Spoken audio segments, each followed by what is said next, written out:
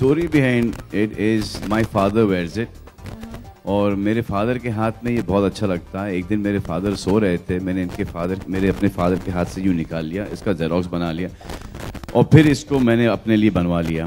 अब तब से ये अब तक मेरे हाथ में है। सोहेल का ये आइडिया था कि we wearing this in the film तो इंट्रोडक्शन इसको यूँ करके कर ही देते हैं। तो आई थॉट अच्छा आइडिया है। और ये नहीं कि ये पहली बार किया है, ये पहले भी किया है हम लोगों ने। और कहीं ना कहीं एक रियल लाइफ क्वालिटी इसके अंदर दिखाई देती है कि हाँ भाई